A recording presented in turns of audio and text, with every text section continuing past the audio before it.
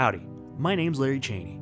I'm a reporter for the College Station Examiner. I want to ask you a few questions about the wolf attacks. Wolf attacks? Rest assured, this was not the work of a feral hog. Did you know that in 1879 there were multiple reports of students being eaten by wolves? Wolves are almost extinct.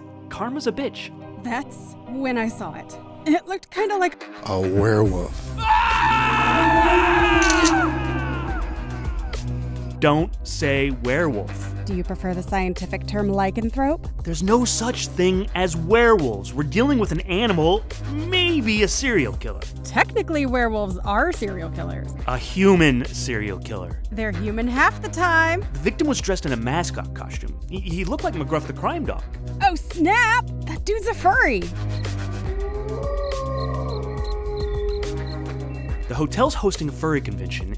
If the killer is targeting furries, then this place is going to be an all you can eat buffet. If we're gonna infiltrate FurCon, we're going to need some costumes. And I know just the guy. Are you trying to poach my story, kid? I'm a reporter. I don't have the luxury of not being an asshole. Gwen, we need to talk. What can I say, Larry? I love you to pieces.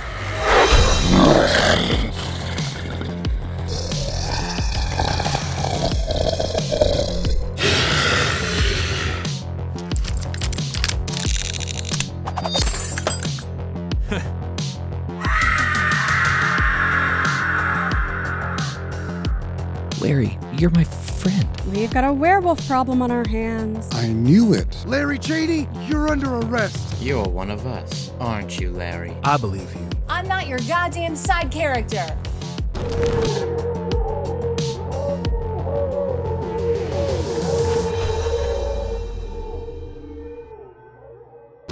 Do furries pack heat? Of course.